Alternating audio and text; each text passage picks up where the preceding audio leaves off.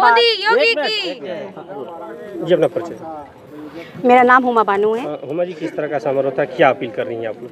हम लोग जनता से तमाम मुस्लिम मौलाओं से यही अपील करते हैं कि जिस तरह ये कुप्रथा का वर्षों से चली आई कुप्रथा तीन तलाक जैसी कुप्रथा का अंत हुआ है जो इस सरकार ने हमारे साथ मतलब कि हमारे सहयोग में इसका कानून को ख़त्म किया है और हमारी दयनीय स्थिति सुधारी है हमारे मान सम्मान का समर्थन किया हमारे अधिकारों का समर्थन समर्थन किया है। हम भी चाहते हैं जिस तरह उन्होंने हमें सम्मान दिया हम भी उनको सम्मान देंगे जिस तरह वो देश का और अपने पूरे हिंदुस्तान की चौकीदारी कर रहे हैं हम भी उनकी चौकीदारी करेंगे और उनको देश में जे, जे, उनके पूरे साथ पूरे सहयोग के साथ खड़े रहेंगे। ने कहा कि अगर उनकी सरकार आती है तो वो जो तीन तलाक की रोक लगाया गया है, उसको फिर वो लागू करेंगे। ये वर्ल्ड कह के वो खुद अपने झांसे में फंस चुके हैं, क्योंकि मुस्लिम महिलाओं को जहाँ से वो छोड़े थे, वहीं सोच रहे हैं फिर बैक कर दें।